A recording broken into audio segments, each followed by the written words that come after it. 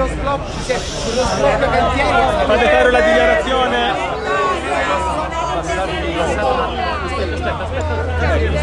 Abbassate un attimo il microfono. Poi alzate le telecamere.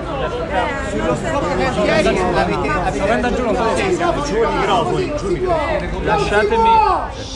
Cazzo, la Vabbè, aspetta, dai ragazzi, aspettate un attimo. non ragione ministro, scusi, hanno ragione, quindi ci Vabbè, possiamo allargare tutti piano piano. Allargatevi, Allarghiamoci tutti, allarghiamoci tutti, allarghiamoci.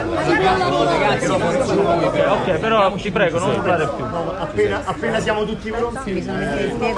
Ce l'ho sotto al naso, guarda. sullo sblocco cantieri è stata raggiunta l'intesa. Per quanto, per quanto mi riguarda, eh, sono contento del fatto che i gruppi parlamentari stiano lavorando e abbiano raggiunto un accordo sull'emendamento sullo sblocca cantieri che riguarda il codice degli appalti, perché alla fine si sospenderanno dal codice degli appalti le tre norme su cui siamo sempre stati d'accordo e che ci consentiranno di creare un paese più efficiente con meno scartoffie, con comuni e imprese che non dovranno più essere appesantite da una serie di moduli, da una serie di procedure, da una serie di questioni che hanno rallentato l'economia del nostro paese. controlli, però, sono contento che invece non c'è un eh, intervento di sospensione sulle norme sulla sicurezza sul lavoro, perché come Ministro del Lavoro sulla sicurezza del lavoro dobbiamo fare di più, non togliere qualcosa, non togliere qualche garanzia. E ripeto, le tre norme che abbiamo sospeso nel codice degli appalti sono quelle su cui eravamo d'accordo e che consentiranno ai comuni e alle aziende di poter eseguire una serie di lavori con più velocità, senza sacrificare né la legalità e né i controlli. Lasciatemi dire su Whirlpool una cosa però, visto che ci sono le persone qui.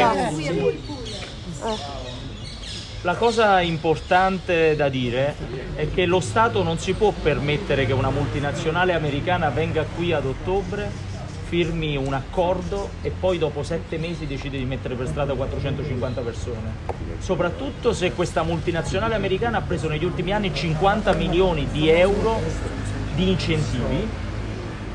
E gliel'ho detto chiaramente oggi al tavolo, o entro sette giorni portano la soluzione per lasciare aperta quell'azienda e far lavorare le 450 persone, o noi gli togliamo i soldi che hanno preso dallo Stato, gli blocco quelli che gli stavamo per dare e gli tolgo quelli che gli abbiamo dato con alcuni strumenti che dovevano servire a creare più lavoro e più occasioni per le imprese. Quanti soldi? Quanti soldi i, numeri, i, bloccate? numeri di questi, I numeri di questi fondi che voi bloccate, ecco, di quanti soldi parliamo? Beh, stiamo parlando di almeno, solo per iniziare, circa 15 milioni di euro. Ma voglio dirvi anche che sul taglio degli incentivi, questa impresa, questa multinazionale americana, stava per avere anche altri soldi. Altri soldi che lo Stato gli stava dando sulla base di un accordo.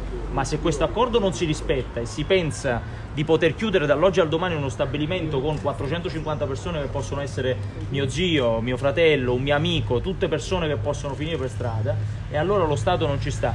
Attenzione, queste persone con questa multinazionale sono venute al Ministero a firmare un accordo sette mesi fa. In sette mesi tu non cambi le carte in tavola quando ti sei impegnato per tre anni a portare commesse dalla Polonia in Italia e far lavorare i cittadini italiani. Quindi su questo ci faremo rispettare e tra sette giorni massimo mi aspetto un nuovo tavolo con una soluzione da parte loro, perché noi le soluzioni le abbiamo già date, ci abbiamo messo i soldi degli italiani in questi insediamenti produttivi e ce li riprendiamo se non va bene. I suoi rapporti con Salvini, i suoi rapporti con Salvini sono migliorati, cioè c'è una nuova fase del governo. Guardi, io non sono mai stato. Non sono mai. E basta. La telefonata con Salvini. Cosa vi una tregua o si arriva... È una tregua sempre la stessa, sempre la stessa domanda.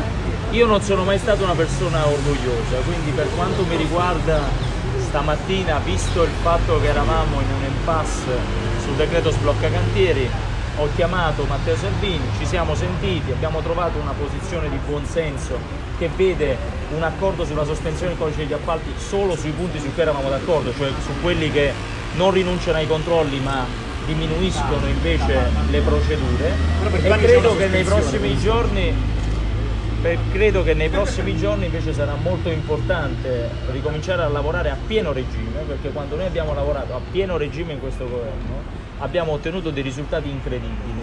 Poi ovviamente gli ultimi mesi sono andati come sono andati, ma per quanto mi riguarda adesso è il momento di dare stabilità al Paese, soluzioni ai problemi che ci sono sul piatto e io ho fatto una promessa, salario minimo orario e misure per le famiglie che fanno figli in Italia e dovremo necessariamente adesso affrontare il tema della nuova legge di bilancio che non prevede solo degli accordi di maggioranza, prevede la compattezza del governo per riuscire ad affrontare una grande sfida, quella di aiutare ancora di più i cittadini italiani. Mi scusi, sulla commissione antimafia state dando un pericoloso segnale alla malavita questo sblocca cantieri.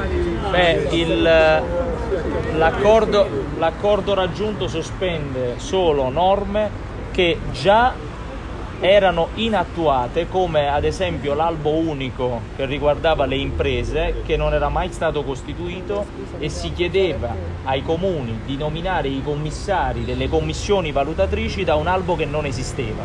Quindi facciamo una serie di interventi che in questo momento sicuramente sono di buon senso. Tutti gli altri che invece riguardano temi che possono preoccupare non ci sono. Senta, le scusi, Ministro. La legge di bilancio dovrà questa pace di lungo termine. Per me il governo deve andare avanti per quattro anni e l'ho sempre detto. Quando non saremo d'accordo su delle cose ce lo diremo, però come al solito per fare il bene di questo paese abbiamo bisogno di un governo compatto e di una maggioranza compatta. Senta, Ministro, l'esame... Ministro, mi scusi, Ministro. Vabbè ragazzi, non parlo Ministro. Ah, beh, comodo così. Comodo, c'è la